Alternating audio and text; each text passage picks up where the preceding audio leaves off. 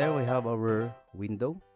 And we could already attach materials to this. So for example let's go to B for bucket. And then we could select glass or other materials. So let's select glass from this drop down arrow. Then let's try to select this translucent glass dark green. Then attach that to this window pane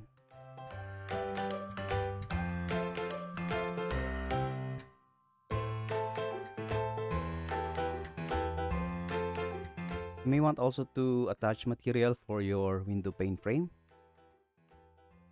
This, for example, we have a color, or let's say you have a wood uh, finish.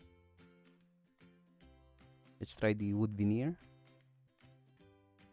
Then attach that to the window pane frame.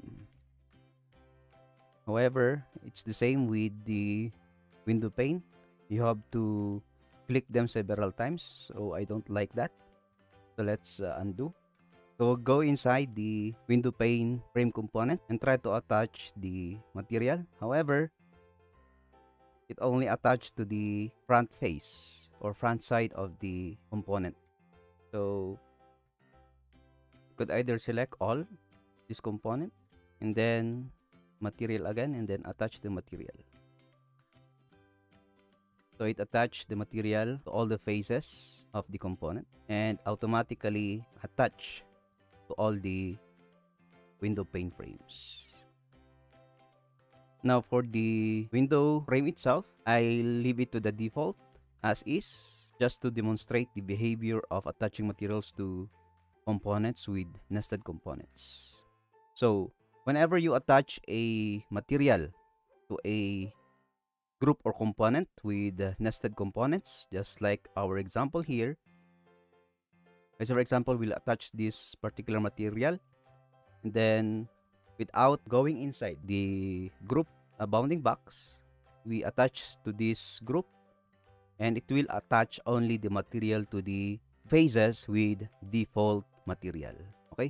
So to go back to the default material you just click on this on the materials panel I'll click this one then return it to the default.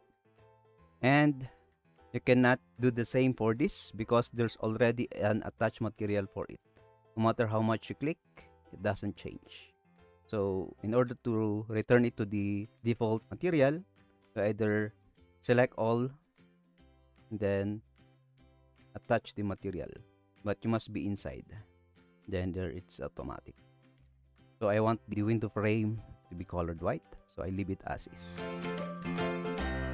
So we go ahead and place the model there but let's make this into a component. So let's name it as window 1 and create. So the nested components were changed or replaced under window 1 so I need to make it as a component so that any changes for this would uh, also be applied to any instance of this. I'll select and then M and then click on this midpoint of the component and then move to the midpoint on this wall. So I could simply copy it again. So still being selected, I'll control and then from this endpoint, this endpoint, control again from this endpoint this endpoint control again from this endpoint and of course lastly to this endpoint. Now take note that this is a component also and this is a component okay? So so once I double click this one I am inside the wall. Once I double click this one I'm inside the window pane. I could nest them together if I may wish but I just leave that as is. So let's create another layer for our windows. So tags create a new layer and then let's name it as windows.